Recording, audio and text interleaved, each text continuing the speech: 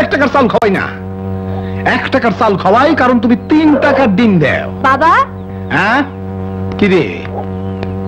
বাবা আমরা স্কুলে যাচ্ছি। যা। লেখাপড়া শিখাইতে হয় তাই শিখাইতেছি। কিন্তু টাকা পয়সা খরচ করতে আমার মুখে বড় লাগে। টাকা পয়সা হলো লক্ষ্মী। তাই লক্ষ্মী হাত থেকে ছাড়তে নাই। তবু আমি সর্দার। মুখে বলবে টাকা পয়সার জন্য মেয়ে দুটোরে পড়াইতে চায় না। স্কুলে যা।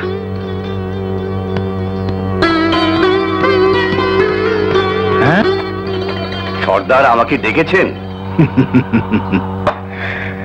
হ্যাঁ ডেকেছি কিন্তু কেন ডেকেছি আমার মনে হয় তুমি তা বুঝতে পেরেছ। হ্যাঁ বুঝতে পেরেছি। আমার বোনের বিয়ের সময় আমার বাড়ি বন্ধক রেখে আপনার কাছ থেকে টাকা নিয়েছিলাম। কিন্তু সেই টাকা এই মাসের মধ্যে শোধ দিতে না পারলে তোমার বাড়ি দখল করে নিব। তুমি লেখা দিছিলা, মনে আছে তো? হ্যাঁ মনে আছে। আপনি কোনো চিন্তা করবেন না। এবার আমি যাদের জমি বর্গা চাষ করেছি, তাতে যে ফসল হয়েছে, আমার ভাগের ফসল বিক্রি করে, দেনা শোধ করেও পুরো বছর খেতে পারব। আপনি কদিন অপেক্ষা করুন।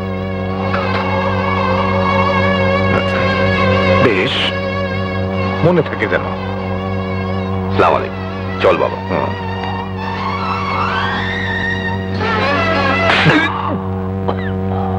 শালা, বলে কিনা টাকা শোধ করে দেব? এমন প্যাস লাগামু, যে ওই প্যাসের গিট্টু শয়তানও খুলতে পারব না। রহমান মিয়ার বাড়িটা আমার চাই। এনো মেজো ভাই, চলো, স্কুলে চলো। না আমি স্কুলে যাব না। কেন যাবে না? মা বাবা বড় ভাই তুই মাস্টার সাহেব সবাই বলে আমি নাকি গাধা। আমার মাথায় কিচ্ছু ঢোকে না। পড়া জিজ্ঞেস করলে পারি না শুধু মার খাই। তাই আমি আর স্কুলে যাব না। আর স্কুলে গিয়ে মাস্টার সাহেবের হাতে মার খেতে পারব না। এটাই আমার শেষ কথা। স্কুলে যেতে হয় তোরা যা যা বলছি। বাদল তোমাকে কতবার বলেছি মনোযোগ দিয়ে পড়তে। কিন্তু তুমি মনোযোগ দিয়ে দাও না পারবে কি করে? আমি তো মনোযোগ দিতেই চাই কিন্তু হয় না। তাই আমি স্কুলে যাব না। এই! এই গাধা! স্কুলে যাবি না কেন হ্যাঁ? স্কুলে যাবি না কেন? আমি তো গাধা তাই আমি স্কুলে যাব না। যাবি না? না। যাবি না? না। তবে রে! স্কুলে যাবে না। দেখাচ্ছি মনে। মা যাচ্ছি। রাজু বই দে। চল চল। আমেনা আমেনা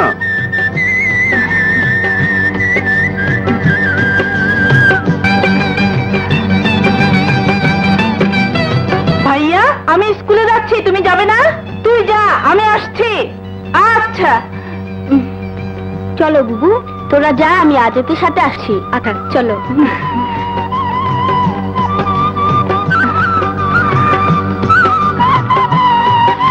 আজাদ, তাড়াতাড়ি চলো, স্কুলের সময় হয়ে গেছে। তুমি দাঁড়াও, আমি বই নিয়ে আসছি। আমি না বাদলটা এখনও বোকাই রয়ে গেল। অনেক চেষ্টা করে ওকে লেখাপড়ায় মন বসাতে পারলাম না। অবাক লাগে ওরা দুজন যমজ ভাই। শুনেছি যমজরা নাকি একই রকম হয় অথচ ওরা হয়েছে উল্টো। একটা বোকা আরেকটা চালাক। হ্যাঁ সবই আল্লাহর ইচ্ছে। চলো। হ্যাঁ।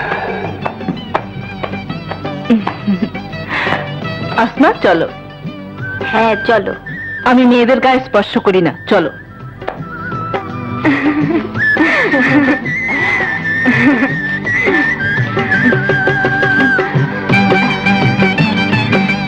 রাজু তুই স্কুলে যা।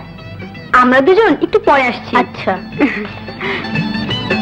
বাদল তোমার মতো আমার স্কুলে যেতে ইচ্ছে করে না। চলো আমরা দুজন অন্য কোথাও গিয়ে ফড়িং ধরি।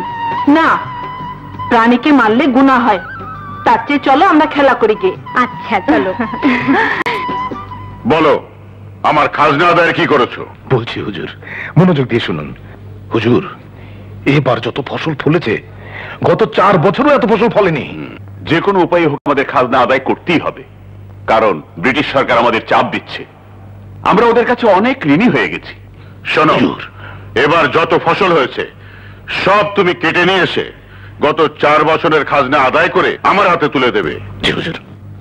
আকরাম কাল তুমি নিজে সর্দারের সাথে গ্রামে গিয়ে সবাইকে আমার হুকুম জানিয়ে দেবে। সর্দার আমার ভাই কাল তোমার সাথে যাবে। হুজুর আমাকে তো এলাকার সর্দার বানিয়ে রেখেছেন। তাই বলছিলাম ইয়ে ছোট হুজুর একাই যাক। আমি আড়াল থেকে সব দেখব। কে কি করে না করে কি বলে না বলে সব এসে আপনাকে জানাব। তোমার এই বুদ্ধির জন্যই তো তোমাকে আমি এখানকার সর্দার বানিয়ে রেখেছি। বেশ তাই করো। জি হুজুর।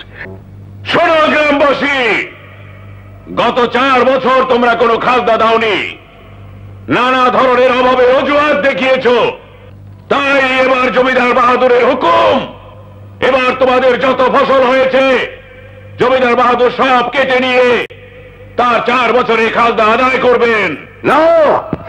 জমিদার বাহাদুর আমাদের গরিবের উপর এত বড় অন্যায় করতে পারেন না। অন্যায়? হ্যাঁ। অন্যায়? আমরা মাথার ঘাম পায়ে ফেলে রক্ত মাংস এক করে জমিতে ফসল ফলাই। তাই আমাদের জমির ফসল আমরাই কাটবো। জমিদারের খাজনা আমরা আস্তে আস্তে শোধ করে দেব। কিন্তু আমাদের জমির ফসলে কাউকে হাত লাগাতে দেব না। যদি হাত লাগাই তাহলে সে হাত আমরা কেটে ধরবো বেশ তাহলে কালই আমরা ফসল কাটতে আসব। দেখব কে কার হাত কাটতে পারে। চল।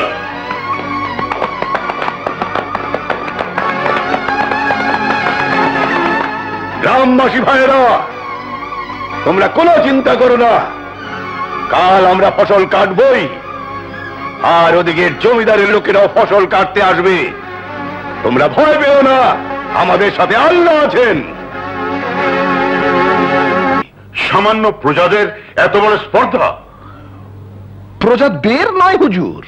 প্রজা মাত্র একজন যে এমন বেয়াদবি করেছে। তার নাম রহমান। সেই সমস্ত প্রজাকে আপনার বিরুদ্ধে খেপিয়ে তুলেছে। আকরাম ভাইজান কালই তুমি নিজে আমার পেয়াদাদের নিয়ে সমস্ত ফসল কেটে নিয়ে আসবে। যাও। জি ভাইজান।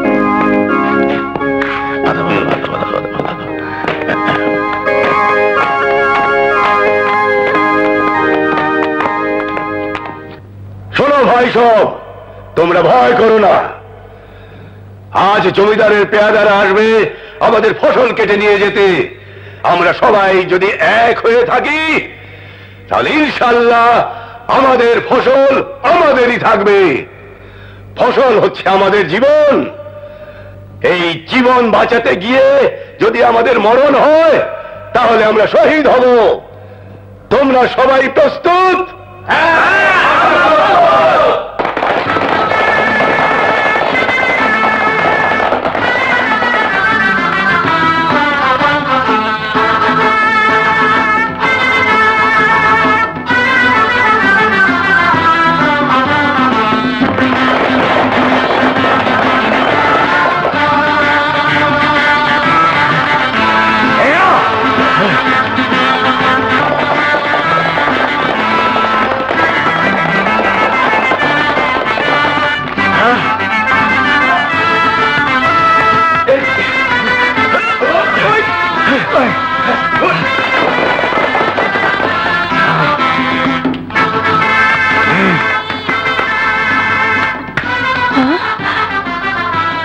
ছোট হুজুর, আমরা মিনতি করছি। আপনারা আমাদের ফসল কাটতে যাবেন না। আর আমি বলছি, আমাদের পথ থেকে সরে দাঁড়াও, নয়তো কুকুরের মতো গুলি করে পারব আর আপনারা যদি ফসলের দিকে এক পেয়ে গিয়েছেন, তাহলে কেউ প্রাণে বাঁচবেন না। তোমাদের যদি প্রাণের মায়া থাকে, এখনও সময় আছে। চলে যাও, নয়তো এখানে জীবন দিতে হবে। জীবন দেয়া নেওয়ার মালিক আল্লাহ। আর আমরা আজ আল্লাহর নামে মরণের কাহন বেঁধে এসেছি মৃত্যুকে হাতের মুঠোয় নিয়ে। মরতে যখন এতই শখ তাহলে মর!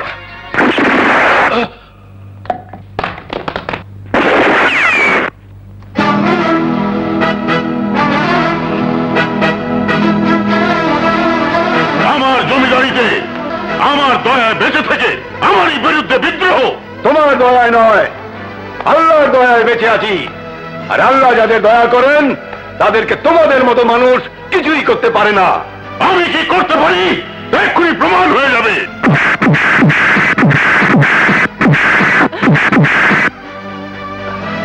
শোনো গ্রামবাসী, তোমাদের যদি এতটুকু প্রাণের মায়া থাকে, যদি আজ এখানে মরতে না চাও, তাহলে এখান থেকে চলে যাও। নয়তো আজ সবাইকে এখানে মরতে হবে। আর তোমরা যদি মারা যাও তাহলে তোমাদের মা, বাবা, ভাই, বোন, স্ত্রী, পুত্র সবাই না খেয়ে মারা যাবে। আমি এখন এক থেকে তিন পর্যন্ত করে অপেক্ষা করব। এর মধ্যে সবাই যদি না যাও, তাহলে মৃত্যুর জন্য তৈরি হও। ছোট এক। ভাই সব, মৃত্যুকে তোমরা ভয় করো না। মৃত্যু সবার ভাগ্যেই লেখা আছে। আর যদি এখানে আমাদের মৃত্যু হয়, তাহলে এই মৃত্যু হবে শহীদি মৃত্যু। দুই। গ্রামবাসী ভাইরা তোমরা ওই জালিমের কথায় ভয় পেও না। কারণ আমরা আছি বলেই ওরা জমিদার। আর আমরা প্রজারা যদি না থাকি তাহলে জমিদার আর জমিদার থাকবে না। তিন! চলো। চলো। শোনো শোনো শোনো তোমরা যেও না। তোমাদের দোহাই লাগে। তোমরা যেও না। শোনো, আমার কথা শোনো। আমার কথা শোনো, তোমরা যেও না। দোহাই লাগে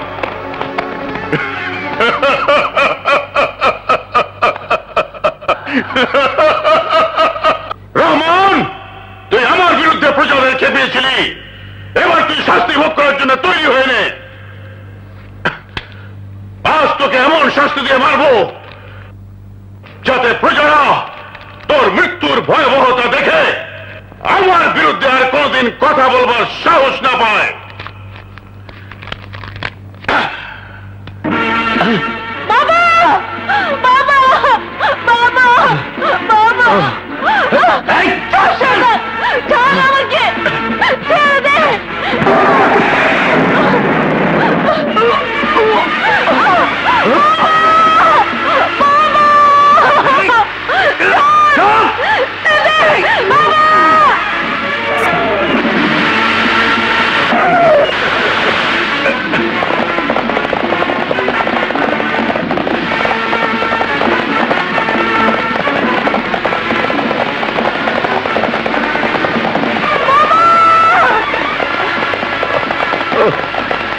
ছেড়ে দে মা মা মা কি হয়েছে বাবা জমিদার বাবাকে মেরে ফেলছে না আমি যাব না তাহলে আমাকেও মারবে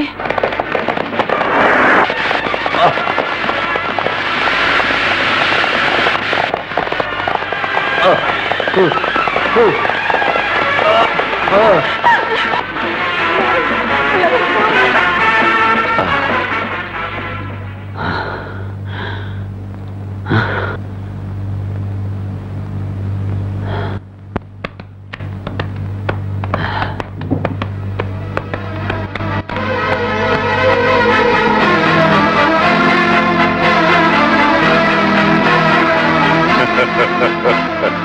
আল্লাহ আমার মৃত্যু হয় হোক। কিন্তু তুমি আমার মৃত্যুর বিনিময় হলো। গ্রামবাসীদের সুখে রেখো শান্তিতে রেখো। তোমার কাছে এ ছাড়া আমি আর কিছুই চাই না। কিছুই চাই না। হুম। হুম। ইয়া!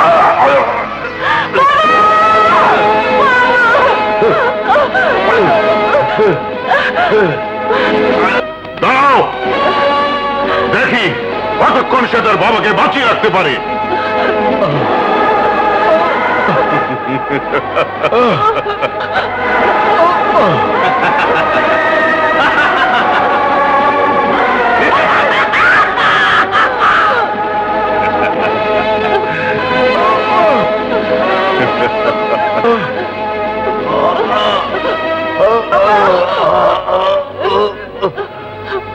আজাদ আমার জন্য তুই আর কষ্ট করিস না।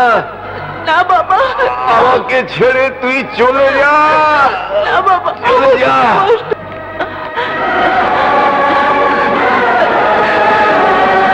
আমাকে ছেড়ে তুই চলে যা। তোমাকে ছেড়ে যাব না। চলে যা। আমার জন্য তুই আর কষ্ট করিস না। আমাকে ছেড়ে তুই চলে যা। না বাবা না। তোমাকে আমি মরতে দেবো না। হয় মরবো না না তুই যদি মরিস তাহলে তোর মা ভাইকে কে দেখবে বাবা চলে যা চলে যা আর পাচ্ছি না আহ বাবা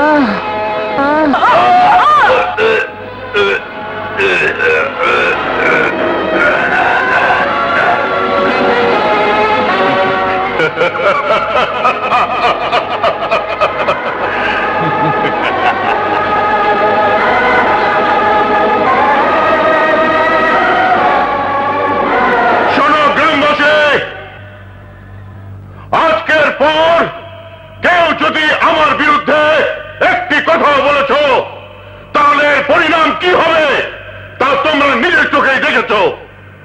মনে রেখো। হুম।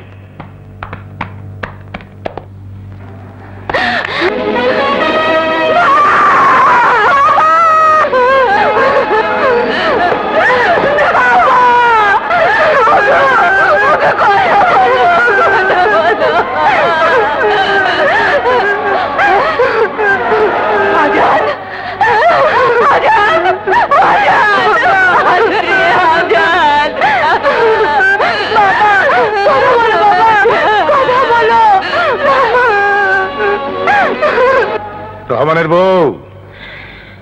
আরে নীরব না থেকে ওরাও তোমার স্বামীর মতো প্রাণ হারাক। এটাই তুমি চাও? তোমার মৃত্যুর প্রতিশোধ নেব।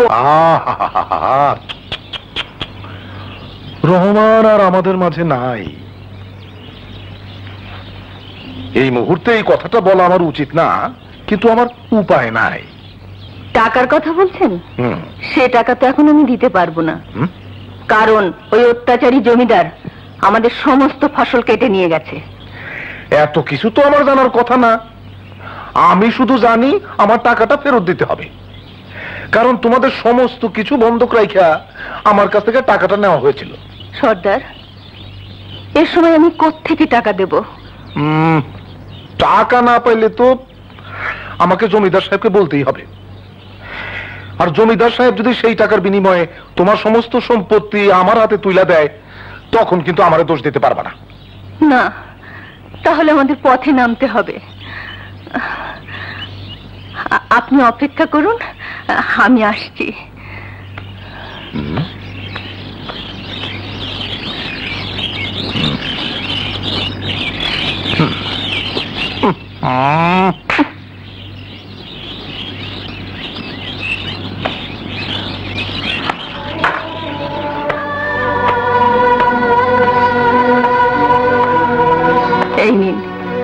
আমার বালা জোড়া রেখে দিন। আপনার টাকা ফিরিয়ে দিলে আমার বালা জোড়া ফেরত দেবেন। এই বালা জোড়া দিয়ে তো আমার পাওনা মিটবো না রহমানের বউ ঠিক আছে, দিচ্ছই যখন। কি আর করব? আমার কি দেখব তো বাস? মানুষে দয়া না করে পারি না। যাই।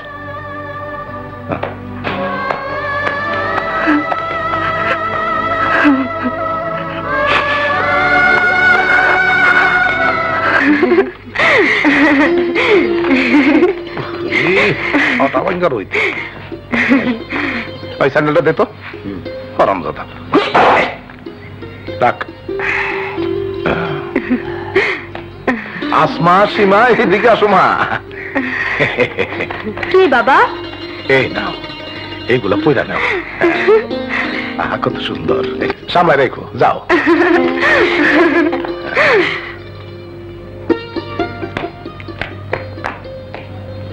এবার আমি রহমানের বাড়িটা দখল করার জন্য জমিদারের কাছে যাব।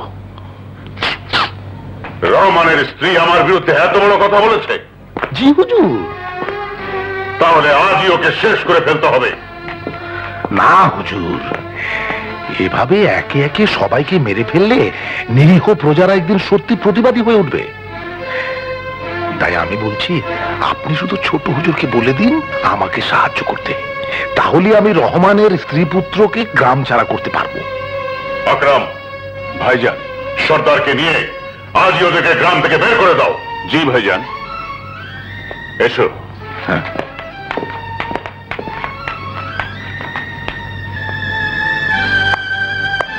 কি ব্যাপার ছোট হুজুর? সর্দারের কাছে সম্পত্তি বন্ধক রেখে তোমরা টাকা নিয়েছিলে? জি। তাহলে এই মুহূর্তে তার সমস্ত পাওনা শোধ করো। যদি না পারো তবে এই বাড়ি ঘর আর সমস্ত সম্পত্তি ছেড়ে তোমাদের চলে যেতে হবে। হ্যাঁ হয় টাকা দাও। নয়তো সব কিছু আমাকে বুঝাই দেওয়া চলে যাও। সর্দার আমি তো আমার স্বামীর দেওয়া শেষ চিহ্ন আমার বালাজোড়া আপনার কাছে রেখে কিছুদিনের সময় নিয়েছিলাম। হ্যাঁ? বালা? কিসের বালা? কেমন বালা? কার বালা? কেন? আমার স্বর্ণের বালা। হ্যাঁ? আমার দিছিলা তার কোনো প্রমাণ তোমার কাছে আছে? কোনো লিখিত কাগজ? না আমি বিশ্বাস করেই দিয়েছিলাম। তাই কোনো কাগজ নেইনি। ছোট হুজুর উনি আমার কথা মুখের কোনো কথা আমরা বিশ্বাস করি না। শোনো টাকা দিতে না পারলে এই মুহূর্তে বাড়ি ছেড়ে চলে যাও। নয়তো আমার পেয়াদারা তোমাদেরকে উচ্ছেদ করে গ্রাম থেকে বের করে দেবে। না ছোট হুজুর না। হ্যাঁ হ্যাঁ বের করে দেবে।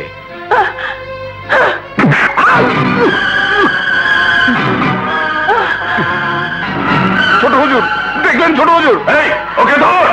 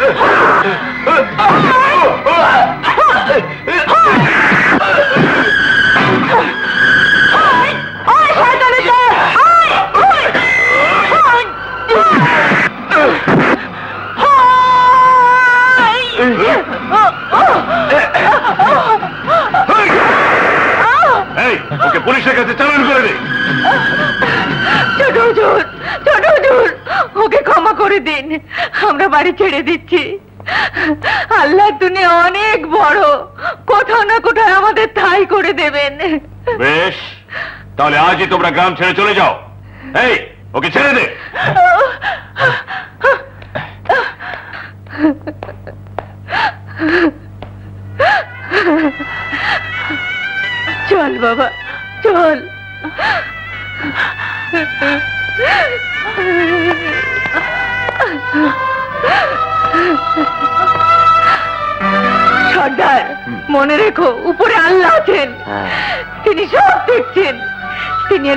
করবেন।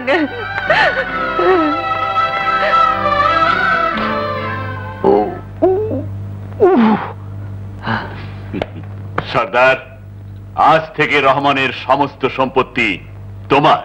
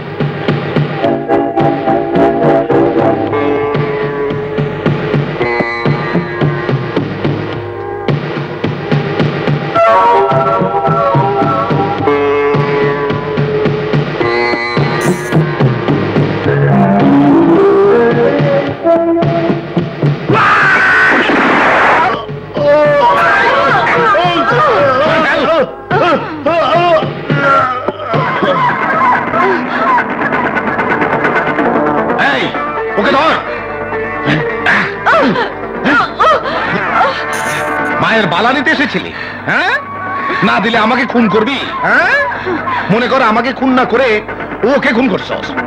ওই যে লাশ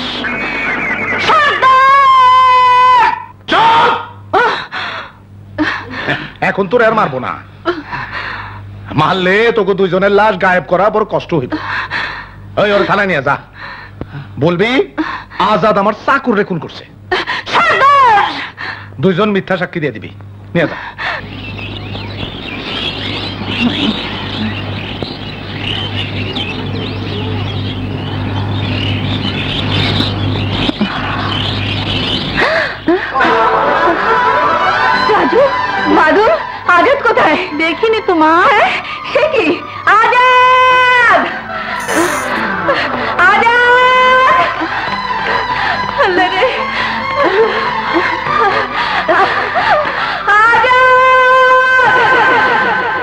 এতটুকু বয়সে মানুষ খুন করেছিস?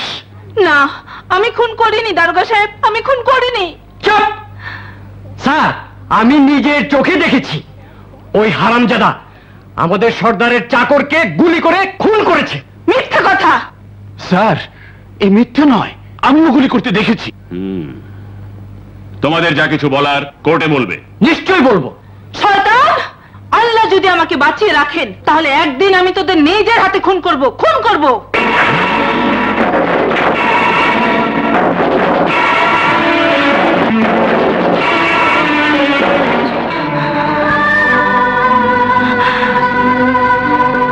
নিশ্চয়ই আমার জন্য কান্নাকাটি করছে। মা, আমাকে তুমি ক্ষমা করে দিও, ক্ষমা করে দিও।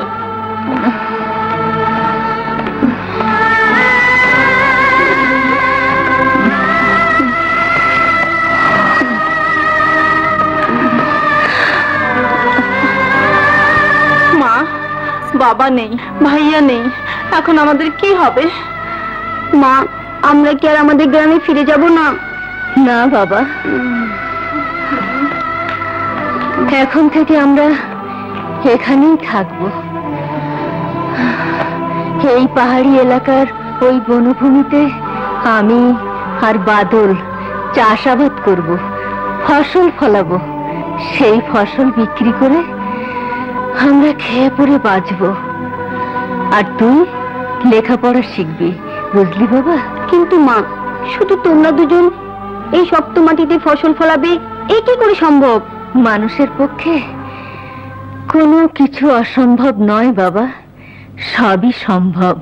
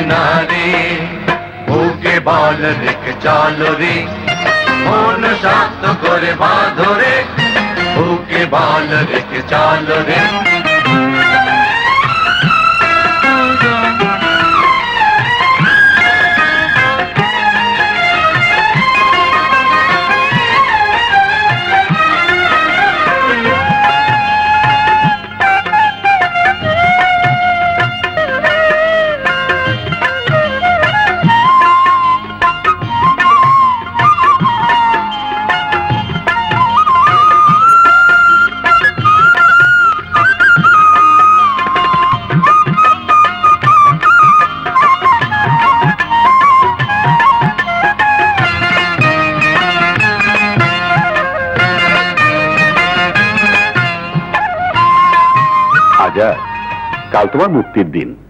জেল থেকে বের হয়ে প্রথমে নিশ্চয়ই মা আর ভাইদের খুঁজবে।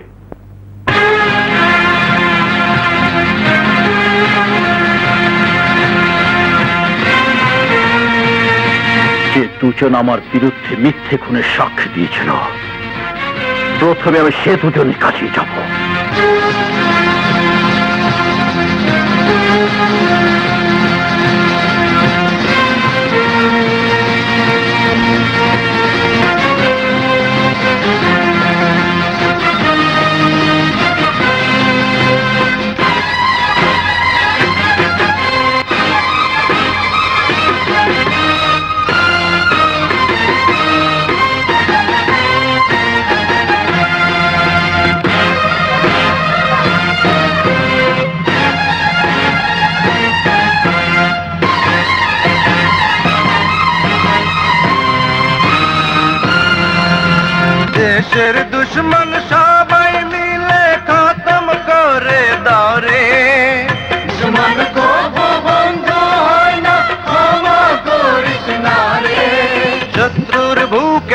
আগুন জ্বালো সময় তোমার এলো।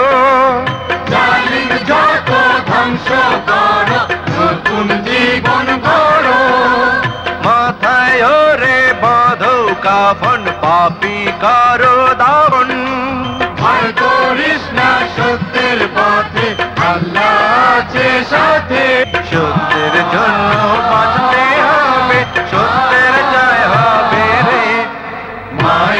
প্রাণ জুড়াবে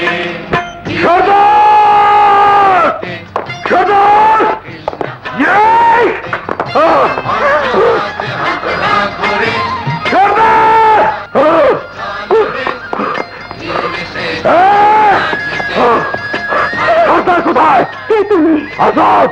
আজাদ! আজাদ? হ্যাঁ আজাদ! আমাদের একটা সুখের সংসার ছিল। সেই সুখের সংসার সর্দার ছাড়খার করে দিয়েছে। ওই সর্দারের জন্য আমি জেল খেটেছি। ওর জন্য আমি আমার বাবা মা ভাইদের হারিয়েছি। আর সে আমার হাত থেকে বাঁচতে পারবে না। ওকে আমি খুন করব। তুমি সেই আজাদ, যার সাথে আমি ছোটবেলায় স্কুলে যেতাম হ্যাঁ সেই আজাদ আর আমি সেই আসমা যার সাথে হাত ধরে খেলা করতে তুমি লজ্জা পেতে।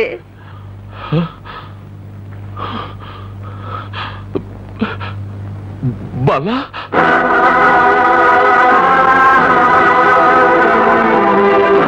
আমার মায়ের বালা? সেই বালার জন্য সর্দার আমাকে খুনি বানিয়েছিল। আমাকে বিশ বছর জেল কাটিয়েছিল। দাও ওই বালা খুলে দাও। খুলে নিয়ে যাও। আমি কোনো মেয়েকে স্পর্শ করি না। তাই বলছি, আমার মায়ের ভালো খুলে দাও। তোমার শক্তি আছে। শক্তি শক্তিতে খুলে নিয়ে যাও।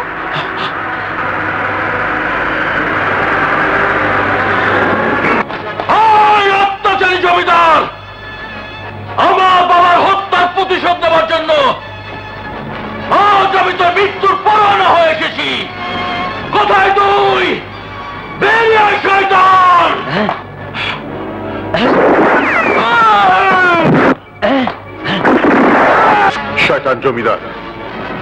রহমানের মৃত্যুর প্রতিশোধ নেবার জন্য আমি তোর মৃত্যুদূত হয়ে জেল থেকে বেরিয়ে এসেছি। আমার বাবাকে যেভাবে সবার সম্মুখে ফাঁসিতে ঝুলিয়েছিলি, ঠিক সেইভাবে তোকে আর তোর ভাইকে ফাঁসিতে ঝুলিয়ে মারব। ইতি আজাদ। রহমানের ছেলে আজাদ আমাদের দুই ভাইকে ফাঁসিতে ঝুলিয়ে মারবে। হ্যাঁ আজাদ, বলো। আজাদের সাথে তোমার কিসের শত্রুতা? কোনো শত্রুতা নেই? ও একটা খুনি ডাকাত। হতে পারে খুনি হতে পারে ডাকাত। কিন্তু আমার মনে হয় তোমার জন্য আসছে খুনি ডাকাত। আমার জন্য? হ্যাঁ আজাদের কথায় আজ তাই প্রমাণ হয়েছে। আরে না না ওর কথা বিশ্বাস করিস না। তাহলে বলো তো আমাদের দু বোনকে তুমি ছোটবেলায় দুটো বালা দিয়েছিলে। হ্যাঁ? সেগুলো থেকে এনেছিলে? কার ছিল? কেন? আমার ছিল? যদি বলি বালা দুটো আজাদের মায়ের ছিল। মিথ্যা কথা। আরে কে তোর এসব বলছে? আজাদ আমার হাতের এই বালা দেখে বলে গেছে এটা তার মায়ের বালা। আরে তার মায়ের যদি হইব তাহলে তোর হাত থেকে খুলে নিয়ে যেত না? হ্যাঁ খুলে নিত। কিন্তু আমি বলেছিলাম যদি সাহস থাকে তাহলে আমার হাত থেকে খুলে নিয়ে যাও। জবাবে সে বলল আমি কোনো মেয়ের গায়ে হাত দেই না। বাবা, যে মানুষ কোনো মেয়ের গায়ে হাত দেয় না, সে কোনোদিন ডাকাত হতে পারে না কারোর সাথে মিথ্যে অন্যায় করতে পারে না। আমার মনে হয় তোমরাই তার সাথে অন্যায় করেছ। আর আজ আমি আজাদের চোখে মুখে যে আগুন দেখেছি, সে আগুন তোমাদেরকে জ্বালিয়ে পুড়িয়ে চারকার করে দেবে। চুপ চুপ চুপ চুপ! সামান্য ডাকাতকে ভয় করব আমি, ভয় তো শুধু তোকে আর সীমাকে নিয়ে? সীমা কোথায়? সীমা শিকারে গেছে? শিকারে গেছে? হ্যাঁ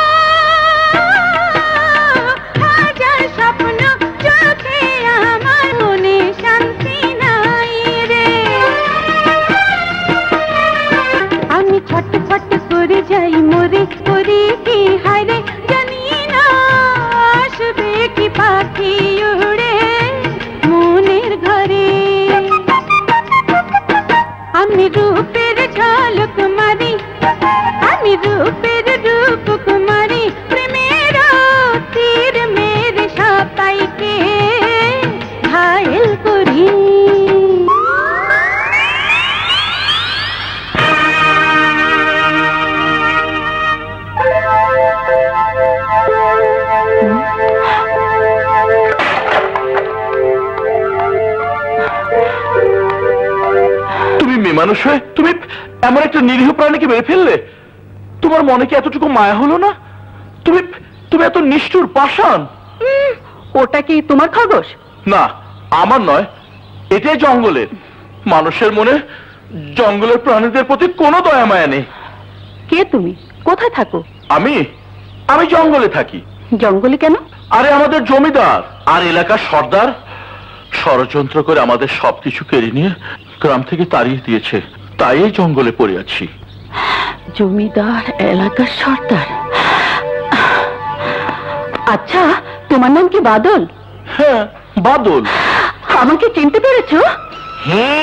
তুমি একটা মেয়ে। আরে না না আমি তোমার সেই ছোটবেলার খেলার সাথে সীমা। সীমা? হ্যাঁ ছোটবেলায় তুমি আমাকে প্রজাপতি মারতে বারণ করতে মনে আছে? আরে আমি তো হলাম গাধা। কিছুই মনে রাখতে পারি না। তুমি যখন বলছো তাহলে সত্যি হতেও পারে। বাদল তোমাকে আমি আজও মনে রেখেছি। তাই তো স্বীকার করার ছলে তোমাকে এতদিন খুঁজে বেরিয়েছি। আজ তোমাকে পেয়েছি। আর কোনোদিন আমি স্বীকার করব না। এই ফেললাম। সত্যি বলছো? হুম। আমার মাথা ছুঁয়ে বলো। বললাম। আচ্ছা তোমার বড় ভাই আজাদ মা রাজু ওরা কোথায়? বড় ভাই সে ছোটবেলা হারিয়ে গেছে। আজও খুঁজে পাইনি। সাথে আছে মা আর ছোট ভাই রাজু। তাহলে চলো মার সাথে দেখা করে আসি। চলো। আয়।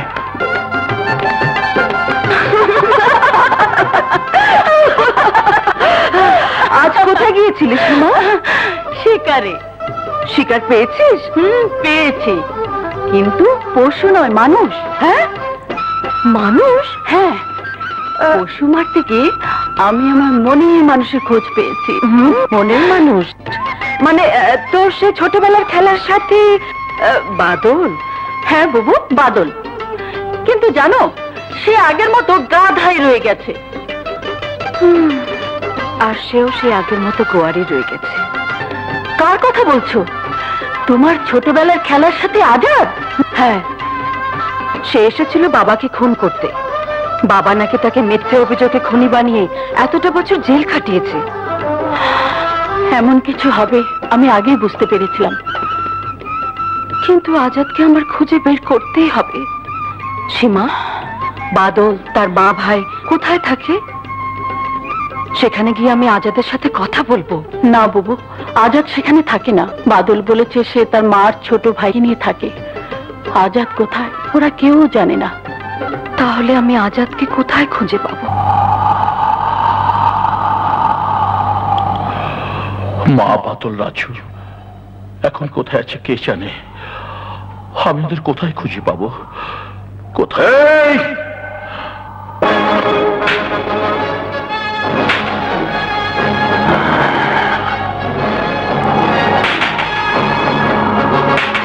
কে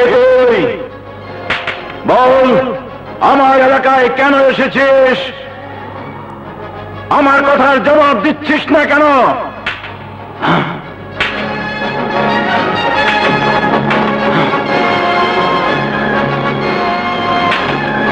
বল, আমার এলাকায় কেন এসেছিস? বল, কেন এসেছিস? বল! আমি এক কথা দুবার বলি না। আর ডাকাত সর্দার রঙ্গুর কথার জবাব না দেওয়া শাস্তি কত ভয়াবহ হতে পারে তা তুই জানিস বল কেন এসেছিস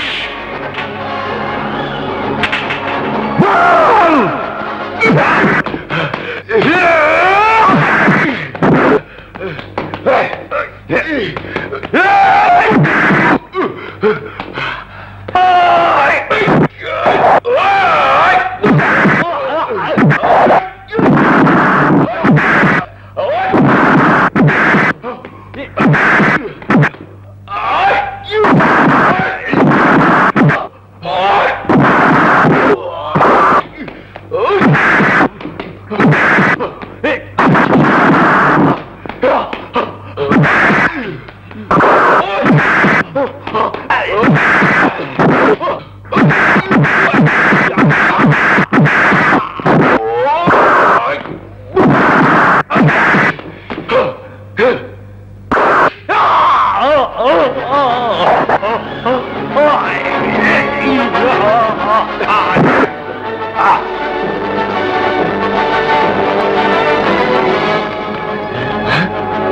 সর্দারের লাশ?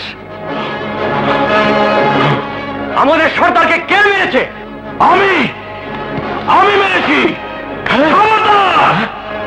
কেউ এক পেগলে জানে মেরে ফেলব!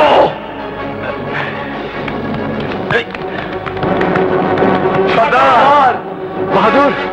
আজ থেকে তুমি আমাদের সর্দার। আমরা এতদিন ওই সর্দারের অত্যাচারে অতিষ্ঠ হয়ে উঠেছিলাম। আজ থেকে তুমি আমাদের সর্দার। নতুন সর্দার! নতুন সর্দার! নতুন সর্দার! নতুন সর্দার! নতুন সর্দার! নতুন সর্দার! বাদল! এই কপি আর সিমগুলি বাজারে নিয়ে বিক্রি করে আয়। মা আমি গাধা বলে তুমি আমাকে গাধার মতো খাটাচ্ছ। আমি আর পারি না। এবার আমাকে ছুটি দাও। তোর ছোট ভাই রাজু শহর থেকে পরীক্ষা শেষ করে এলেই তোর ছুটি। ইয়া আল্লাহ! আমার ছোট ভাইকে ছুটি দিয়ে এখানে পাঠিয়ে দাও। ছোট ভাই তুই তাড়াতাড়ি আয়!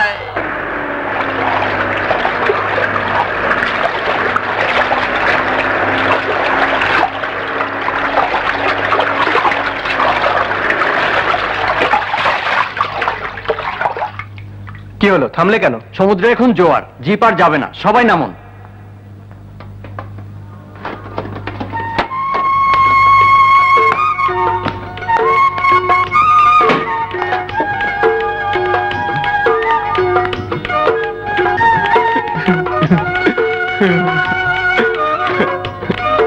এই যে চাচা, আপনারা কাঁদছেন কেন?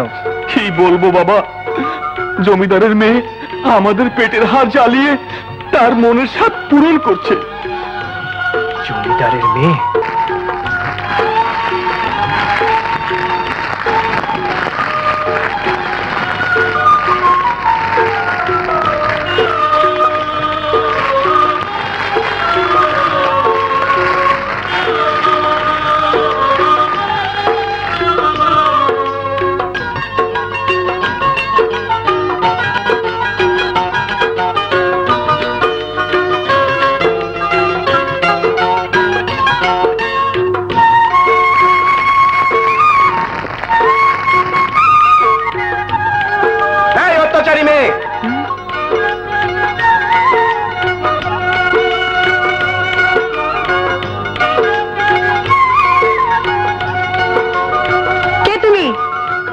একজন মানুষ।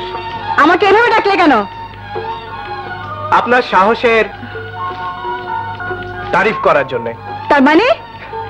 গরিবের কষ্টের ফসল জ্বালিয়ে আপনি আপনার মনের স্বাদ পূরণ করছেন তো? তাই। কি বলতে চাও তুমি? এতক্ষণ তুমি গরিবের মেহনতের ফসল জ্বালিয়ে তার ছবি আঁকছিলে। এখন আমি তোমাকে সেই আগুনে জ্বালিয়ে তোমার জ্বলন্ত ছবি আঁকবো। কি? কি বললে আমার জ্বলন্ত ছবি আঁকবে?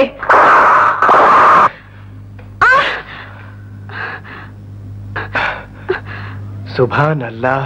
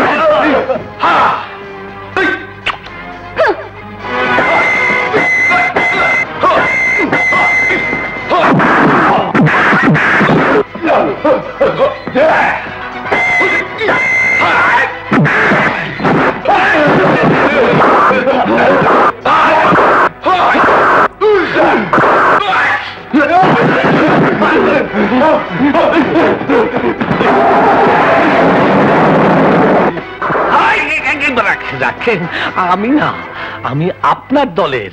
এ, আপ্পামনি আসলেই অত্যাচারী। ওনাকে ভালো করে শিক্ষা দিয়ে দিন। তবে এই নিন।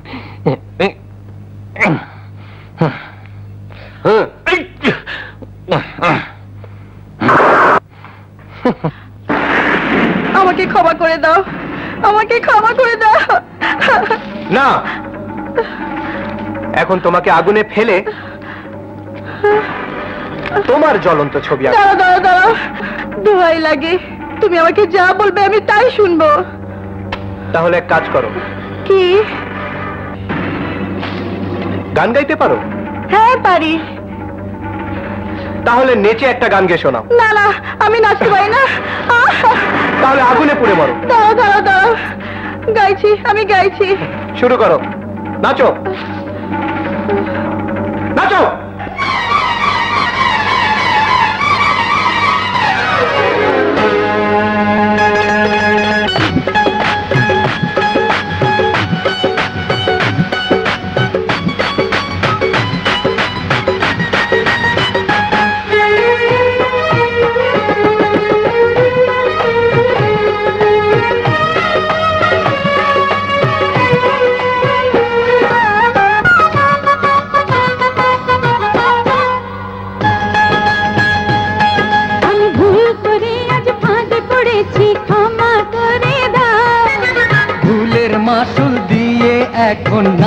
নাচ করে যাও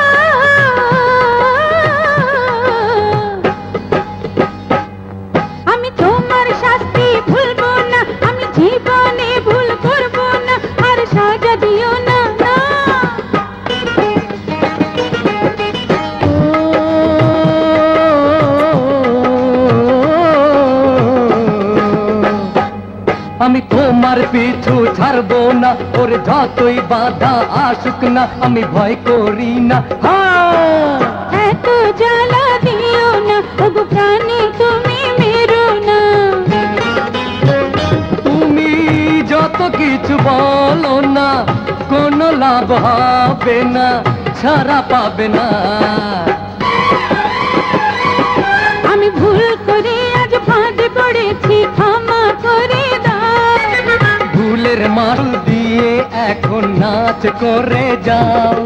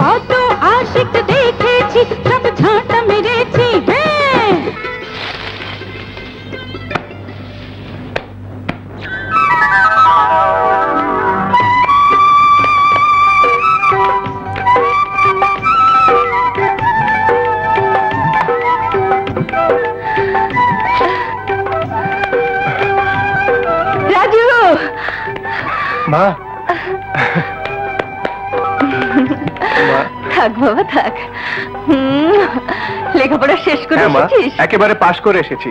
ইয়ে মেজু ভাইয়া কোথায়? রাজু! ছোট ভাই! মেজো ভাই! মেজো ভাই কেমন আছো মেজো ভাই? ভালো খুব ভালো। আচ্ছা তুই লেখাপড়া শেষ করেছিস তো? হ্যাঁ ভাইয়া আমি একেবারে পাশ করে এসেছি। তুই পাস মানে আমিও পাস তুমি তুমি তো হলে গিয়ে গাধা, আমি হলাম গাধা, কিন্তু সাদা সিধা। ছোট ভাই আচ্ছা আমাদের কি সারা জীবনে পাহাড়ে পড়ে থাকতে হবে? না ভাইয়া, এখানে আর নয়। মা, আমি শহরে পড়ালেখার ফাঁকে ফাঁকে একটা প্রাইভেট কোম্পানিতে চাকরি করতাম। বেতন থেকে প্রতি মাসে কিছু টাকা জমিয়েছি। আমি খবর নিয়েছি, সর্দার আমাদের ভিটে বাড়ি লাল মিয়া নামে একজনের কাছে বিক্রি করেছে। ওর কাছ থেকে যত টাকাই লাগুক সেই বাড়িটা আমি কিনে নেব। তারপর তোমাকে আমি বাবার ভিটে নিয়ে যাব। তুমি কিন্তু আমাকে সেই গ্রামে যেতে বারণ করতে পারবে না। তোর বাবার ভিটে ফিরে যাব। এর চেয়ে খুশি আমার কাছে আর কি হতে পারে? মা।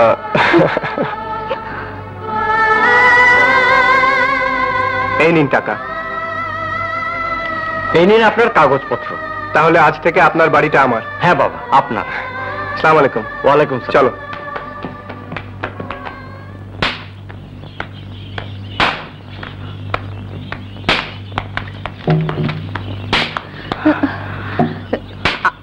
তোমার ছেলে কোথায়? বলো কোথায়? ওই তো আমার ছেলে।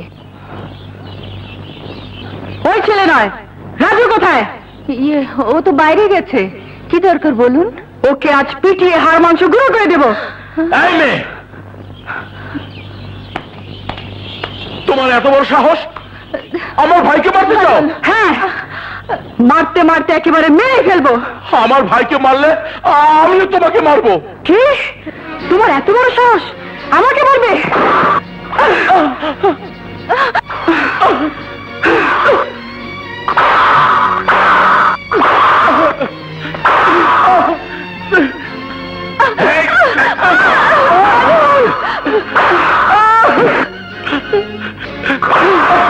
ওকে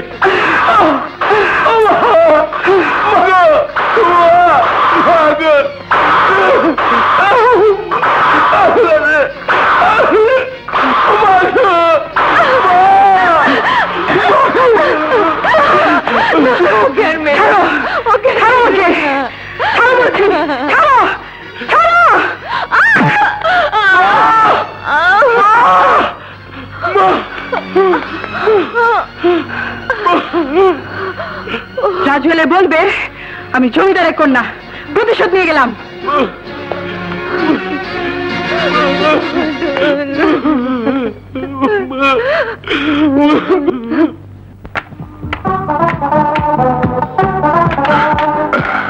হ্যালো ড্যাডি হ্যালো কোথায় গেছিলি মা? একটা পশু আমাকে বড় যন্ত্রণা দিয়েছিল। তাই ওকে একটু শিক্ষা দিয়ে এসেছি। কি? জমিদার কন্যার এত বড় সাহস? সে তোমাদের দুজনের গায়ে হাত তুলেছে? হ্যাঁ দেখ আমাকে আর মাকে মেরে কি অবস্থা করেছে দেখ এবার দেখব ভাই আর মায়ের জন্য তুই কি করিস?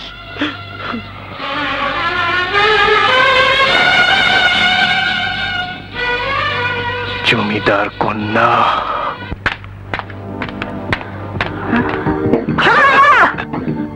চুপ!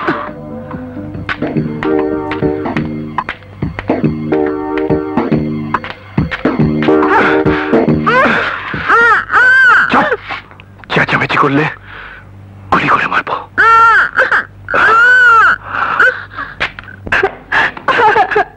এসো। মা মা ভাইয়া। হ্যাঁ? ওকে কেন ধরে এনেছিস? মা ও তোমাকে আর মেজো ভাইয়াকে আহত করেছিল। তাই যতদিন পর্যন্ত মেজো ভাইয়ের শরীরের ঘা না শুকাবে ততদিন পর্যন্ত তোমার আর মেজো ভাইয়ের সেবা করবে। হুম। তোমার এত বড় সাহস। সাহসের দেখেছ কি? দেখো যদি ভালো চাও তো। একটা কথা বললে। কি কি করবে? করব?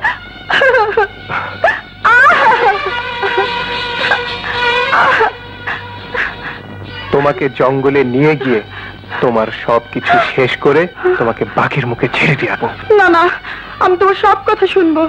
বলো আমাকে কি করতে হবে? যাও আমার ভাই আর মায়ের পা টিপে দাও। যাও! ভাইয়া! আর আমার নাম আহ, থাক মা থাক আমার লাগবে না আমার বুঝেছি। এত বড় অন্যায় করার পরও ওর জন্য তোমার মনে কোনো রাগ নেই। কিন্তু আমি ওকে ছাড়বো না। সারা রাত বাইরে বেঁধে রাখব। রাজু এসব তুই কি বলছিস? ও ছেলে মানুষ। আমি শুধু বড় ভাইয়ার অপেক্ষায় আছি। ভাইয়াকে যেদিন খুঁজে পাবো সেদিন ওদেরকে সমস্ত অত্যাচারের হিসাব বুঝিয়ে দেব। কি বললে? লিপিকে খুঁজে পাওয়া যাচ্ছে না? না ভাইজান। তাহলে যাও। সবাইকে নিয়ে খুঁজে দেখো লিপি কোথায়। যাও। কি আমাকে মারার মধ্যে কেমন টের পাচ্ছ হ্যাঁ? ওরে বাপরে। এখনও দেখি রাগ কমেনি রাজু! আরে কি হয়েছে মেজো ভাইয়া? ও রাগ এখনও কমেনি। ওকে একটু আদর করে ভালোবাসা দে। তাহলে তো রাগ কমে যাবে। আদর দে ভালোবাসা দে।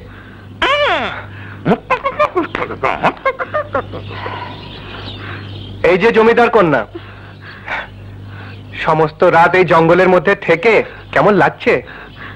আমার শিক্ষা হয়েছে। আমি জীবনে যতদিন বেঁচে থাকব ততদিন আর কোনো শয়তানি করব না। আমাকে ছেড়ে দাও। রাজু ওর বাবা আমাদের উপর অত্যাচার করেছিল কিন্তু সে তো করেনি। এবার তুই ওকে ছেড়ে দে। আমি ওকে ক্ষমা করে দিয়েছি।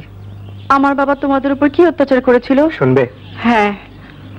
তাহলে শোনো তোমার বাবার অত্যাচারের কথা।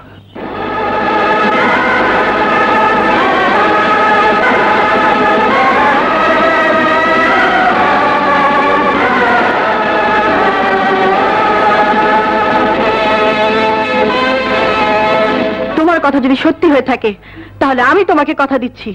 প্রতিশোধ দিতে আমি তোমাদেরকে সাহায্য করব। তুমি নিজেই তো একটা অত্যাচারী। এসো।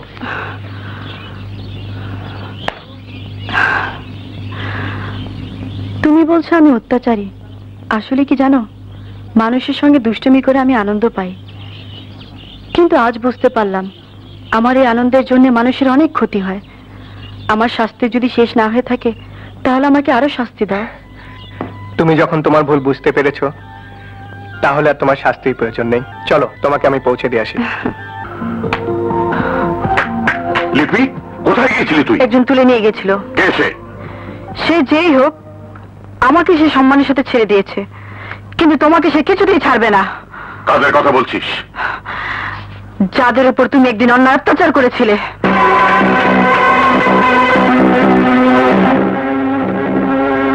রহমানের পরিবারের কথা বলছে না তো।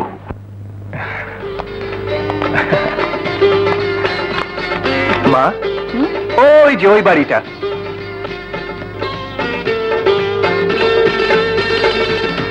এসো এসো ভাইয়া। কি করলি রহমানের স্ত্রী পুত্র লাল মিয়ার কাছ থেকে তাদের আগের বাড়িটা কিনা সেই বাড়িতে উঠছে? জি হুজুর।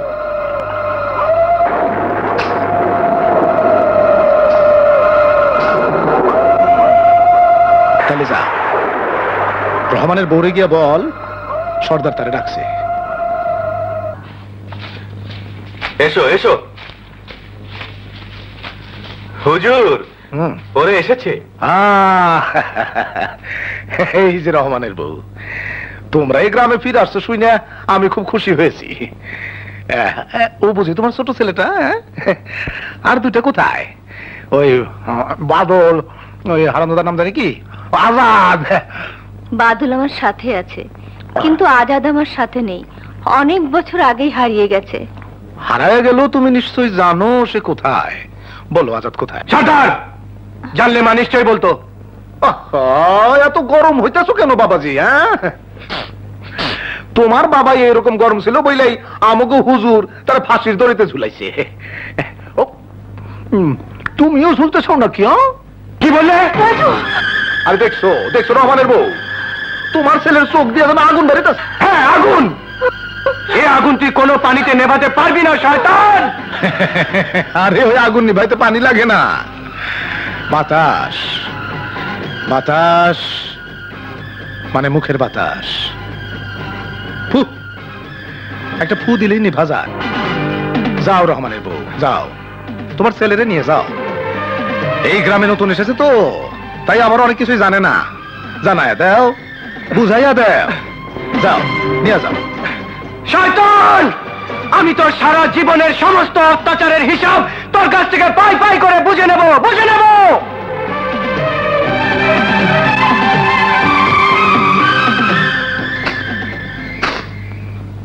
তাইলে তো রাজু আর বাদলটা শেষ করে ফেলাইতে হয়।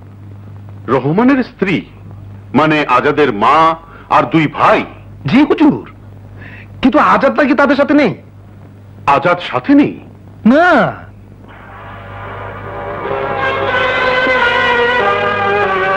তাহলে নিশ্চয়ই এর মধ্যে আজাদের কোনো চালাকি রয়েছে।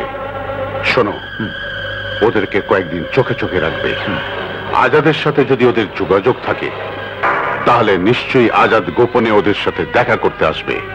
আর এলেই ওকে পুলিশ দিয়ে ধরিয়ে দেবে।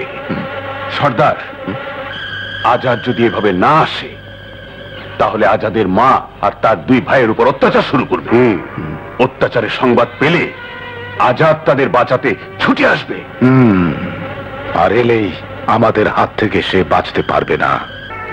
তুমি এখানে বসে কাঁদছো? বুঝেছি। আজ আবার ভাইয়ার কথা মনে পড়েছে। কেঁদো না মা। আমার মন বলছে ভাইয়াকে আমরা একদিন না একদিন খুঁজে পাবোই মা। আল্লাহ করে তোর কথাই যেন সত্যি হয় বাবা। হাজতকে একটি বার দেখার জন্য এই মায়ের মন কি যে ছটফট করছে তা আমি তোকে বোঝাতে পারব না বাবা। আমি তোকে বোঝাতে পারব না। শোনো তোমাদেরকে আমি সর্দার হয়ে হুকুম করছি। আজ রাতে রহমপুরের সর্দার মে আসমাকে তুলে আনতে হবে। আর মনে রেখো, ওর সাথে কোনো দুর্ব্যবহার করবে না। যাও!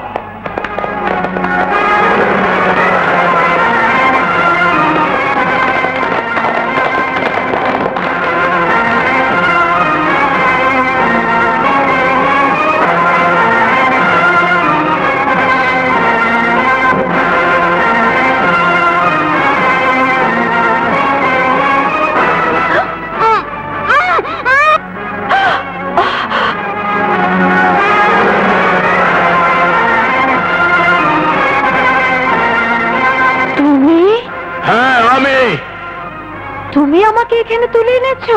হ্যাঁ।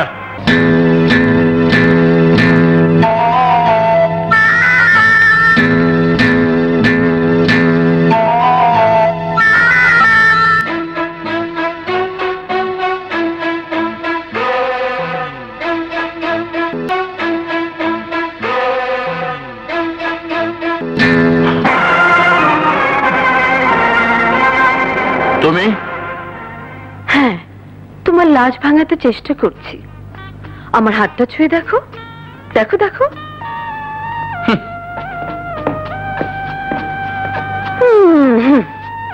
ভীরু কাপুরুষ। কাপুরুষ? তুমি যদি ছেলে হতে তাহলে তোমাকে বোঝাতাম আমি বীর না কাপুরুষ। মেয়েকে বোঝাও। ঘুম থেকে উঠে দেখে বুবু নেই। তার ঘর এলোমেলো। আমার মনে হয় কেউ বুবুকে তুলে নিয়ে গেছে। যাও গ্রামের সবাইকে ডাকো। শোন এ কথা গ্রামের কাউকে বলিস না। তাহলে আমাদের মান ইজ্জত সব যাবে। তাই বলে বুবুর কোনো খবরই নেবে না। নেব। আমি হুজুরের কাছে যাব। আসমাকে উদ্ধার করতেই হবে। আল্লাহ জানে। বুবুকে কোন শয়তান তুলে নিয়ে গেছে?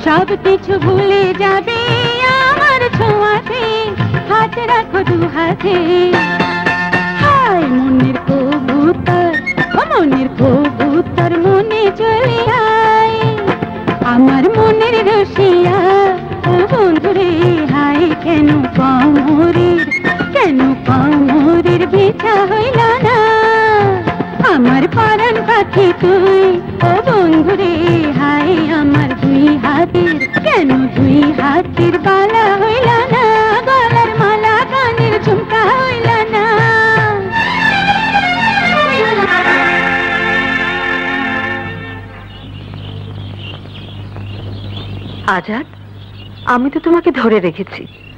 এখন তো পালাটা খুলে নিতে পারো। ঠিকই বলেছ।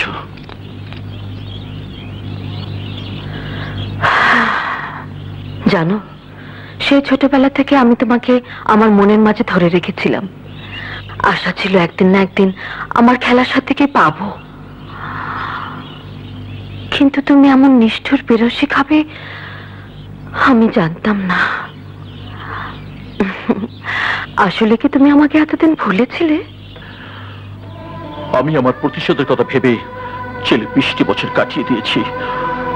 অন্য কিছু ভাবার সময় পাইনি। কিন্তু এখন? আসমা আসমা আমাকে তুমি ভুলে যাও। আমার পেছনে পুলিশ লেগে আছে। আমার সঙ্গী হলে চিরদিন তুমি অশান্তির আগুনে চলে মরবে। চিরদিন আমার সাথে পালিয়ে বেড়াতে হবে। কোনোদিন তুমি শান্তি পাবে না আসমা কোনোদিন শান্তি পাবে না। আজাদ তুমি আমার পাশে থাকলে আমি শান্তি পাবো। আসমা তোমাকে আমি কি করে বোঝাবো? আমি একটা খুনি ফাঁসির দড়ি আমার সামনে ঝুলছে। তোমার যেদিন ফাঁসি হবে সেদিন আমারও মরণ হবে। কারণ কারণ আমার এই মন তোমার সাথে মিশে আছে। হাজার, আমি আমি তোমার জন্য অনেক বছর অপেক্ষা করেছি। তোমার জন্য অনেক কেঁদেছি। কিন্তু আর কাঁদতে পারব না। আর কাঁদতে পারব না। আর কাঁদতে পারব না।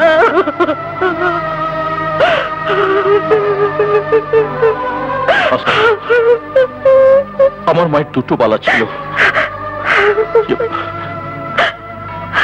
আর একটা কথা বলতে পারো। আর একটা পালা আমার বোন সীমার হাতে।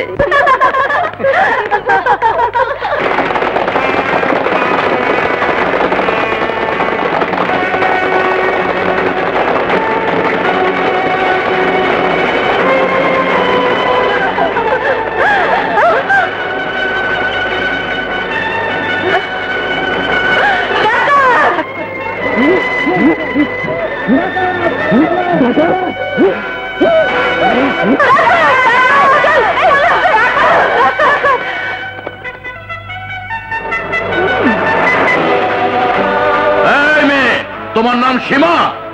হ্যাঁ সীমা।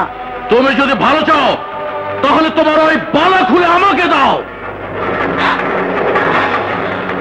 যদি না দে তাহলে তোমার হাত থেকে ওই বালা আমি খুলে নেব।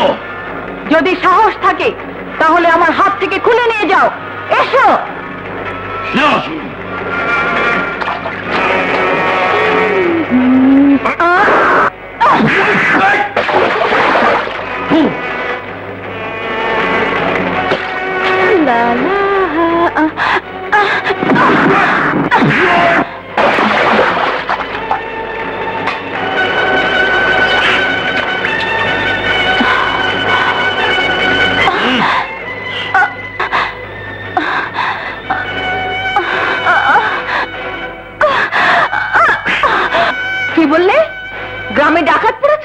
পড়েছে হ্যাঁ মা ডাকাতরা মেয়েদের উপরে অত্যাচার করছে। না! চল ছোট ভাইয়ের মেজো ভাইকে খবর দেই গে। হ্যাঁ চল চল।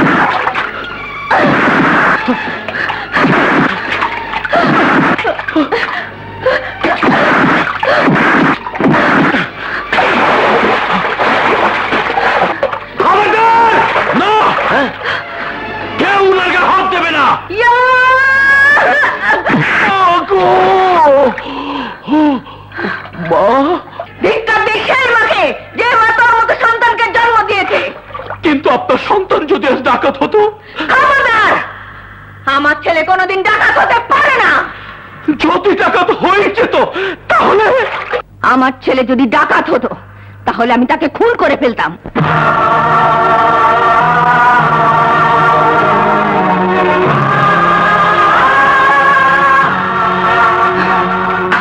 আজকের কথা মনে রাখিস।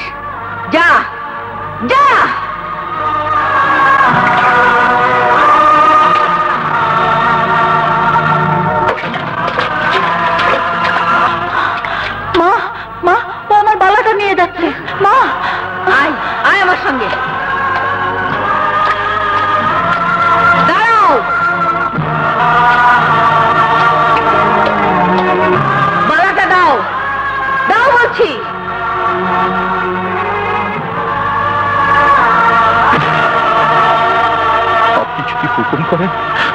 তাহলে তাহলে এই বালা আমি আপনার হাতে পড়িয়ে দিতে চাই। আমার হাতে দেবে কিনা বলো? কি হয়েছে মা? কিছু না।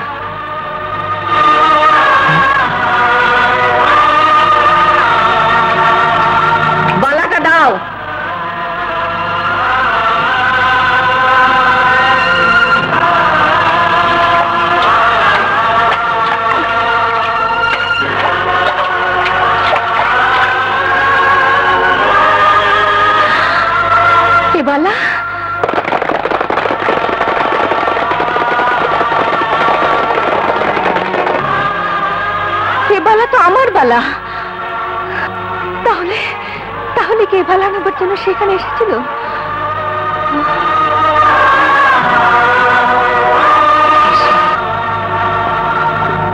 মায়ের বালা আনতে গিয়েছিলে কিন্তু তোমারই অবস্থা কেন? মায়ের বালা আনতে গিয়ে মায়ের দেয় আঘাত নিয়ে আমি ফিরে এসেছি। তোমার মা তোমাকে জেনেও আঘাত করেছে? না। তবে? শোনো বলছি। যখন আঘাত করছিলাম আমার তখন মনে হচ্ছিল প্রতিটি আঘাত আমার শরীরে লাগছে। আমি কি ওকে আঘাত করে ভুল করেছি? এখন তুমি বলো, আমি কি করে তখন মাকে আমার পরিচয় দিতাম? মাকে আমি চির পরিচয় দিতে পারিনি। আমি এক হতভাগ্য সন্তান। মাকে কাছে পেয়েও মা বলে ডাকতে পারিনি। বলতে পারিনি, মা মাগো আমি তোমারই ছেলে। তোমার হাতে বালা উদ্ধার করার জন্য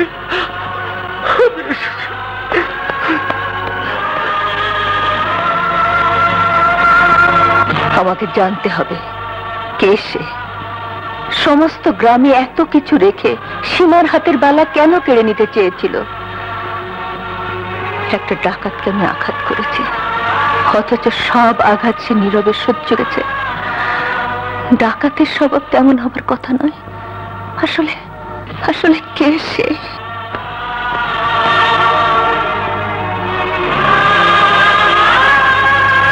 আসমাকে তার বাড়িতে ফিরিয়ে দিয়ে আসতে হবে। কিন্তু এভাবে সে কিছুতে যেতে চাইবে না। তাকে যেভাবে আনা হয়েছিল ঠিক সেভাবে ফিরিয়ে দিয়ে আসতে হবে। কি? হাজার তোকে ফিরিয়ে দিয়ে গেছে? হ্যাঁ। তাহলে বল কোথায় তার আড্ডা? বলব না। বলবি না? যে তোর বাবাকে প্রাণে মারতে চায় আর তুই? তুমি যদি অন্যায় করে থাকো তাহলে তুমি তার শাস্তি পাবে।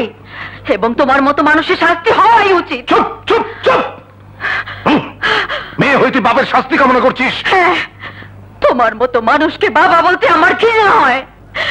তাহলে আজাদের ঠিকানা তুই আমাকে বলবি না? বলবি না? না। আমাকে প্রাণে মেরে ফেললেও বলব না। তাহলে বাপ হয়ে আমি তোর মতো মেয়েকে প্রাণী মেরে ফেলব। খুন করে ফেলব তোকে।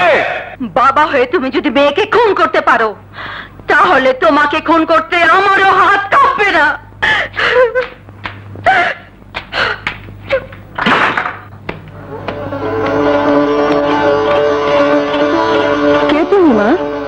আমি এখানকার সর্দারের মেয়ে। সর্দারের মেয়ে? মানে মানে তুমি আসমা? সেই ছোটবেলা আমার আজাদের সাথে তুমি স্কুলে যেতে। তোমার মনে আছে? মনে আছে মা। আপনাকে একটা কথা বলতে এসেছি। কি কথা? বলো মা। বলো।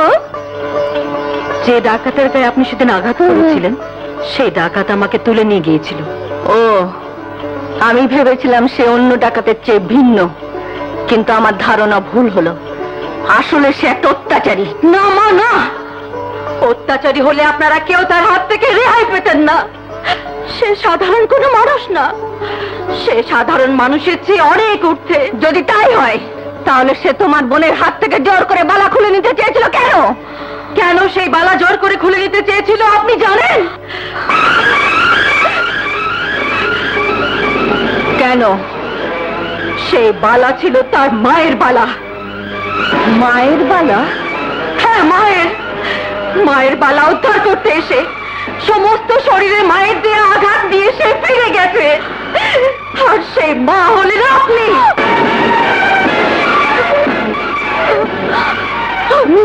হ্যাঁ হ্যাঁ আপনি। আপনি আজাদের মা। আজাদ আপনারই সন্তান। আমার আজাদ আমার আজাদ আমার ভাবতে অবাক লাগছে।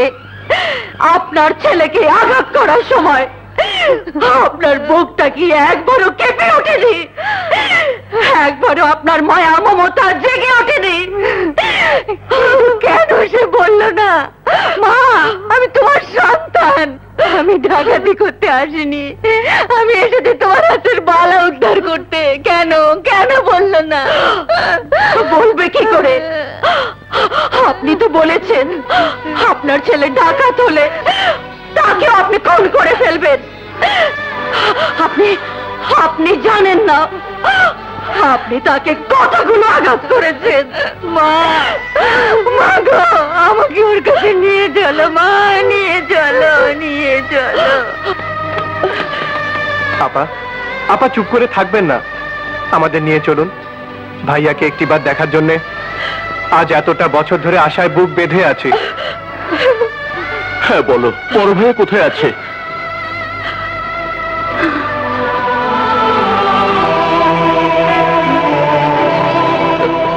বলো না।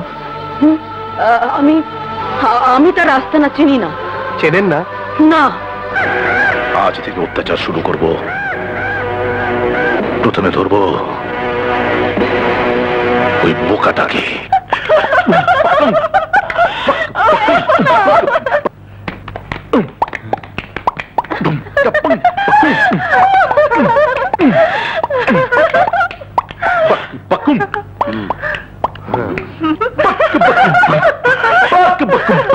আরে তুই বাদল না? কিন্তু তুমি? আমি তোর ছোটবেলার বন্ধু। তুমি আমার বন্ধু? হায় আল্লাহ তোর মনে নেই? আমার মা বলে আমি গাধা। কিছুই মনে থাকে না।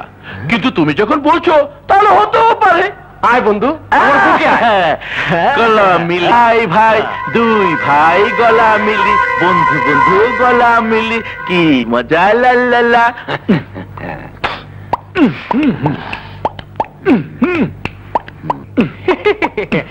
আয় বেটা চোর আয় ঠিক আয়। আয় বেটা তুই আমার মায়ের হার চুরি করে এনেছিস। দে কি বলছো? তুমি আমার বন্ধু আমি তোমার মায়ের হাত চুরি করতে যাব কেন? আয় বেটা চোর ভাই সব। আয় দেখুন সে আমার মায়ের হার চুরি করে আমি চুরি করিনি আমি চোর না। এই দেখুন।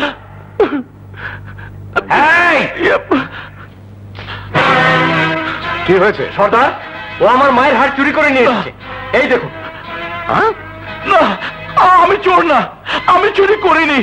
আমার মা বলে চুরি করে মহাপাপ। তাই আমি চুরি করে কি ঘৃণা করি? হাতে হাতে ধরা পড়েছিস। তারপর বলছি চুরি করিনি।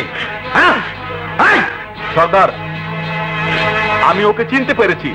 সেদিন এখানে এসে আপনার দুজন লোকে খুন করে গেছে। হ্যাঁ সর্দার আমিও দেখেছি। আমিও দেখেছি। না আমি আমি খুন করি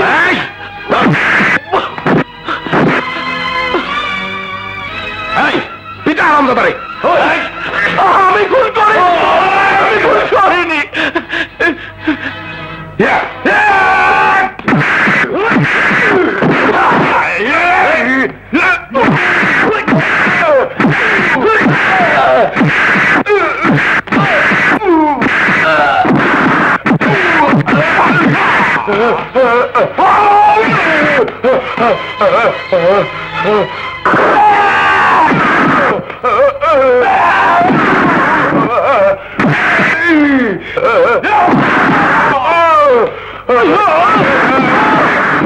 মা রাজু ছোট ভাই ভাইরে আমাকে বাঁচা ও আমাকে মেরে ফেলবে।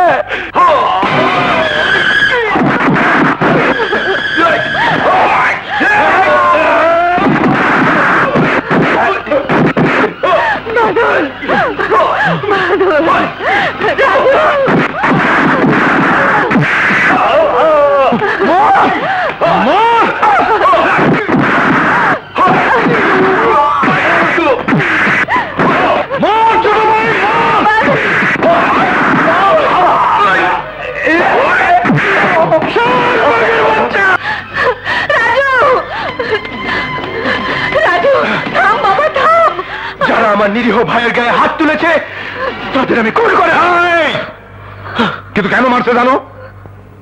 তোমার ভাই ওর মায়ের হার চুরি করে নিয়ে আসছে। সবার সামনে তোমার ভাইয়ের পকেট থেকে সেই হার বাইর করা হয়েছে। আর লোকজন বলতেছে আমার দুজন লোককে তোমার ভাই খুন করছে। না আমার ছেলে খুন করতে পারে না চুরি করতে পারে না।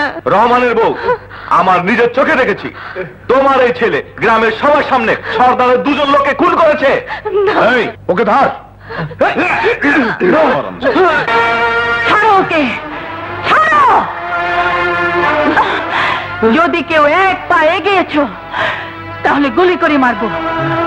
বাদল, চলো এখান থেকে। তোমাকে যেদিন এখানে ফিরিয়ে আনব, সেদিন তুমি তোমার নিজের হাতে প্রতিশোধ নিতে পারবে। মা, তোমার বোকা ছেলেকে আমি নিয়ে গেলাম। ওকে আমি বাহাদুর করে ফিরিয়ে আনব। যা মা, যা। আমি সেদিনের অপেক্ষায় রইলাম। চলো চলো চলো। তুই আমার ভাইয়ের গায়ে হাত তুলেছিস। তোকে আমি ছাড়বো না। তোকে আমি খুন করে ফেলব। খুন করে ফেলব। শোনো গ্রামবাসী তোমরা নিজের চোখে দেখছ নিজের কানে শুনছো। ওই ছোকরা বলছে আমার লোক সে খুন করে ফেলবে। কথাটা তোমরা মনে রাখবা। চল।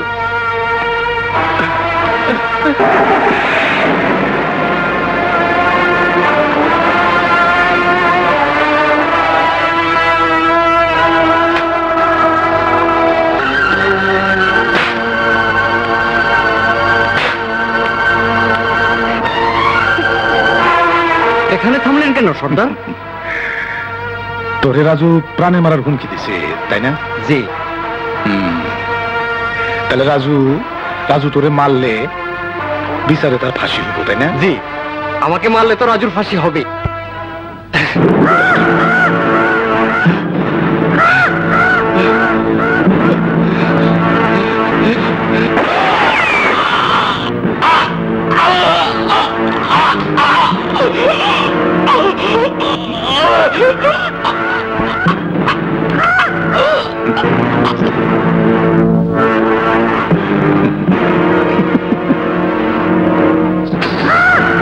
এইবার গ্রামের সবাই সাক্ষী দেবে।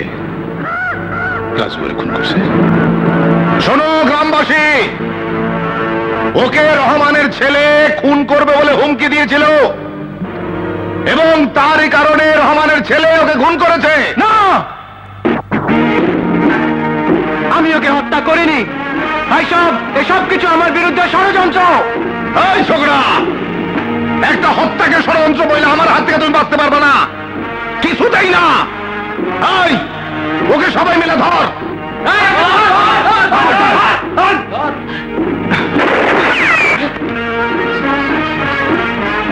সর্দার, ইচ্ছে করলে এই মুহূর্তে আমি তোকে গুলি করে মারতে পারতাম। কিন্তু না, ওকে তুই হত্যা করেছিস। এই কথা প্রমাণ করার পর তোকে আমি কুকুরের মতো গুলি করে মারবো। গুলি করে মারবো!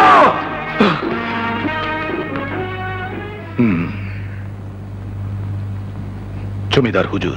যা করেছ খুব ভালো করেছ। রহমানের অন্য দুই ছেলের কি নাম বললে?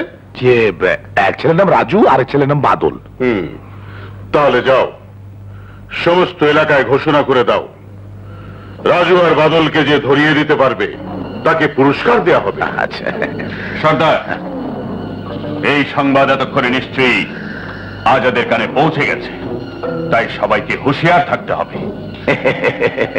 আজাদের কানে পৌঁছবার জন্যই তো আমাদের এই চেষ্টা ছোট হুজুর। ওর কানে পৌঁছুক। আমি চাই।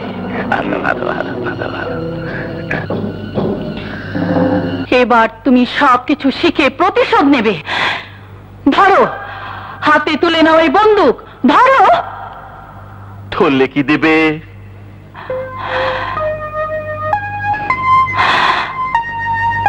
বলো না কি দেবে? মিঠা মিঠা আদর দেব। আদর?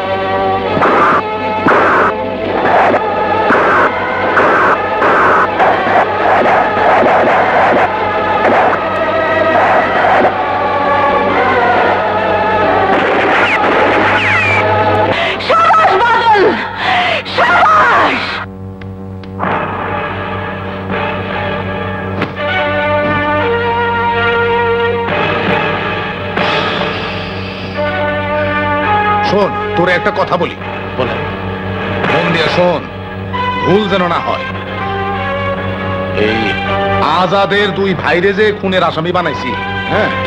দুদিন পর ওদের ফাঁসি হবে। এই কথা যেন আসমা কিছুতেই জানতে না পারে। হ্যাঁ।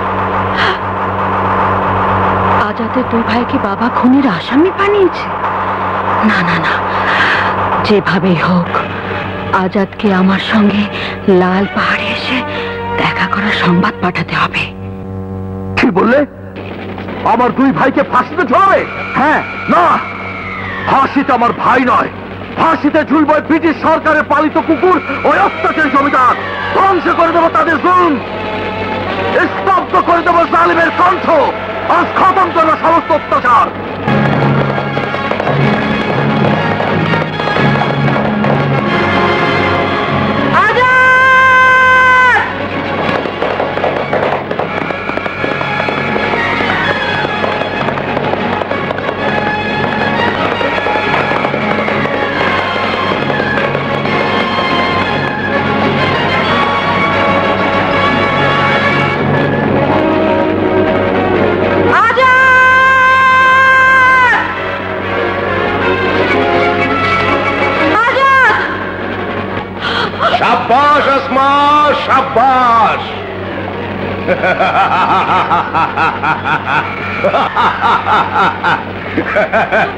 আসমা, আজ তুই ওকে ধরিয়ে দিয়ে প্রমাণ করেছিস। তুই সত্যি তোর বাবাকে ভালোবাসিস। তুই তোর কর্তব্য করেছিস। এবার আমাদেরকে আমাদের কর্তব্য করতে দেবা আসমা, আমি তোমাকে বিশ্বাস করেছিলাম। কিন্তু তুমি আমার সাথে বিশ্বাসঘাতকতা করেছ। আমাকে ধরিয়ে দিয়ে তুমি তোমার বাবাকে বাঁচাতে চেয়েছো। না না। আমি তোমার সাথে কোনো বেইমানি করিনি। বিশ্বাস করো। আমি আমি ওদেরকে এখানে রাখিনি আজাদ না। আজাদ! আজ তুই আমাদের হাত থেকে কিছুতেই বাঁচতে পারবি না। ওই চেয়ে দেখ তোর বাবাকে যেভাবে মারা হয়েছিল ঠিক সেইভাবে তোর জন্যও ফাঁসির মঞ্চ বানিয়ে রেখেছি। আজ তোর বাবার মতো তোকেও ওই ফাঁসির দড়িতে ঝুলতে হবে।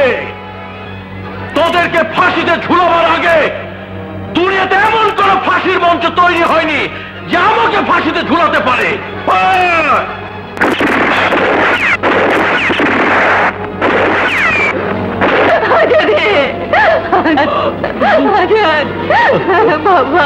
বাবা বাবা।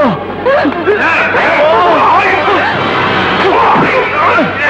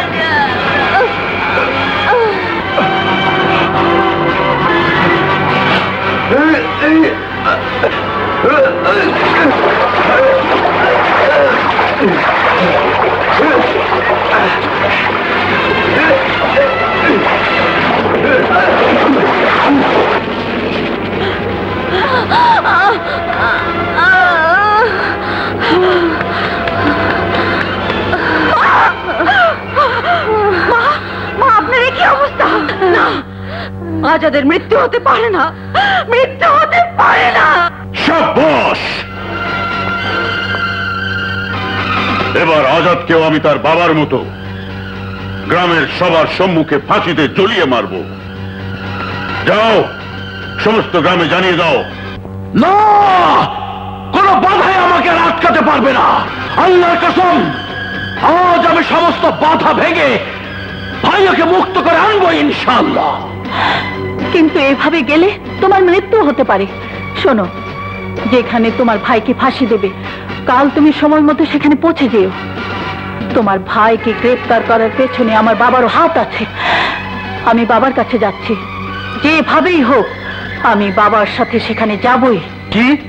কি বললি? ওই শয়তান ডাকাত আমার বোনকে তুলে নিয়ে অপমান করেছে। তোমাকে প্রাণে মারার হুমকি দিয়েছে। তাই আমি প্রতিজ্ঞা করেছি। ওকে আমি নিজের হাতে একটা আঘাত হলেও করব। কিন্তু কাল তোর মৃত্যুর উৎসব হচ্ছে। তাই তো বলছি, আমাকে তোমার সাথে নিয়ে চলো।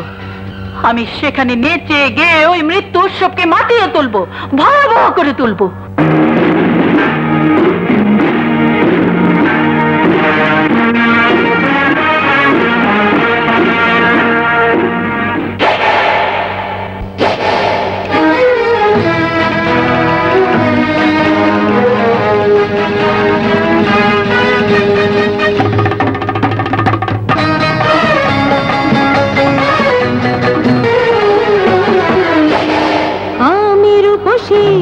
ওলারে পাখি, পলকে পলকে, ঝলকে ঝলকে, বলে যাতে ছোড়া মারি।